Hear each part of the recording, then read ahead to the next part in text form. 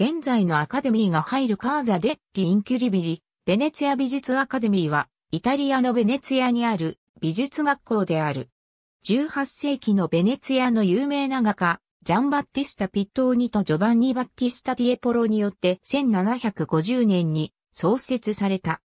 美術アカデミーは、ベネツィア共和国時代の1750年9月24日に設立され、政府からサンマルコ広場に近い運河沿いの建物、ファンタゲット・デ・ラ・ファリーナに部屋を与えられた。アカデミーの費用は、ベネツィアの貴族や市民、芸術家によって負担され、最初の校長には、ジョバンニ・バッティスタ・ピアッツェッタが就任したが、1754年にピアッツェッタが死去した後、資金不足により一旦並行された。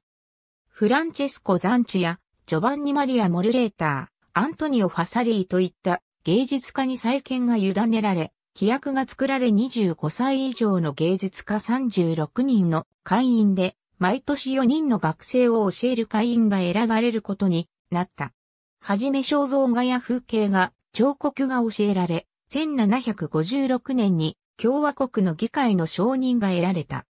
1777年には美術品の修復の工房が設けられた。1797年にベネツィアはナポレオン・ボナパルトの軍隊に侵略され、共和国が崩壊し、1807年にナポレオンの支配下でアカデミーは民衆に開かれた美術学校に改組され、王立美術アカデミーに改名された。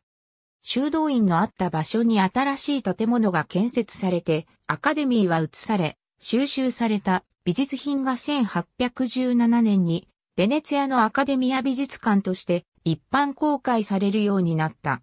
1817年からベネツィアはオーストリアの支配するロンバルド・ベネート王国になり、この状態は1866年にイタリアがベネト地方を併合するまで続いた。アントニオ・ロッタは絵画におけるベネツィアの歴史の最も偉大な代表者の一人とみなされており、風俗画のモデルとしてベネツィアアカデミーから授与されました。